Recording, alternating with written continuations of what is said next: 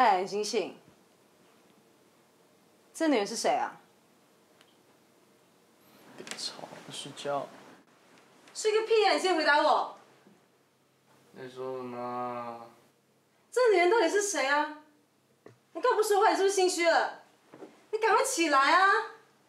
你睡什么睡？起来啊！你去哪？我的梦里，我的心里，我的歌声里，你存在我深深是你吗？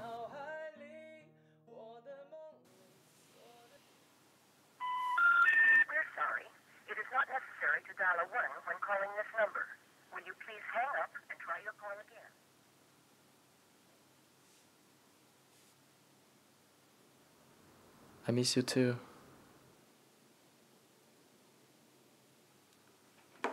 Oh shit！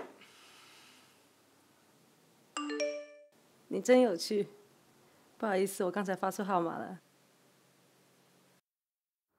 没关系，但是作为补偿呢，你能陪我聊天吗？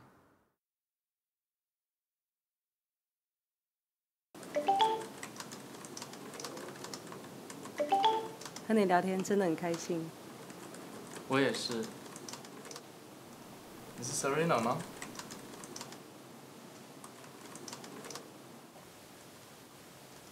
为什么不告诉我你的名字？我们现在应该是朋友了吧？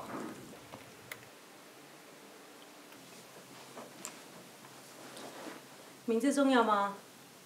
其实不知道名字更好吧。这样子我们就可以肆无忌惮分享彼此的秘密啦。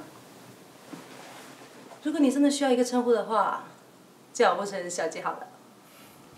你比我想象中更有趣。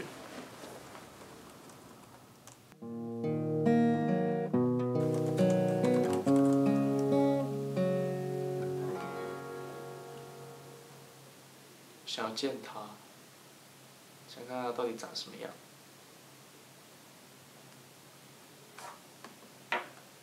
你明天有空吗？没有，不然后天好了。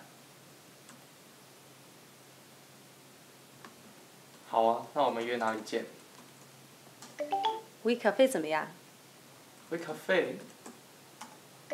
对啊，怎么了？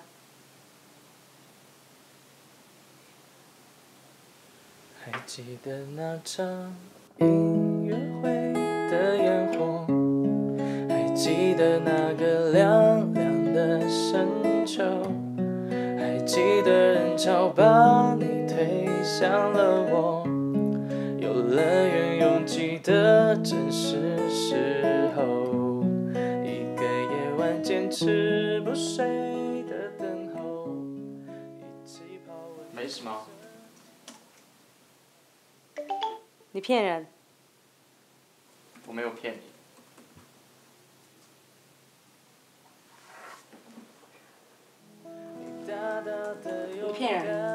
没有啊。那我问你，你们团队多少个人？六个人。那四个女生。那他们都没有你漂亮。你怎么知道我要问什么？你眼珠子一转，我就知道你在想什么。哎，你真的很烦哎！哎，干嘛打我？打你打谁？真的很烦哎！哎，别打，别打，别打，别打，别打。我还有事哦。那后天下午三点见。那好吧，到时候见。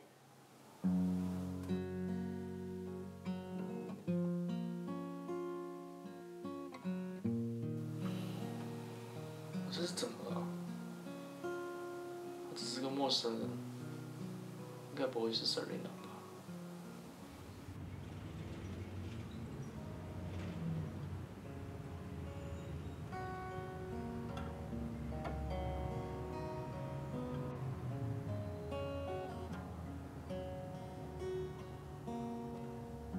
一。点点防备，也没有一丝顾虑，你就这样出现在我的世界里，带给我惊喜，情不自已。可是你偏又这样，在我不知不觉中悄悄的消失。从我的世界里没有音讯，剩下的只是回忆。他不会来了。我深深的脑海里，我的梦里，我的心里，我的歌声里。你存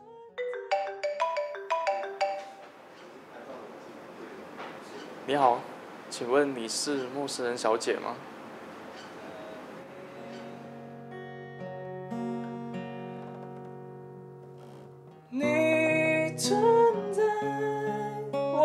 深深的脑海里我的梦里我的心里我的歌声。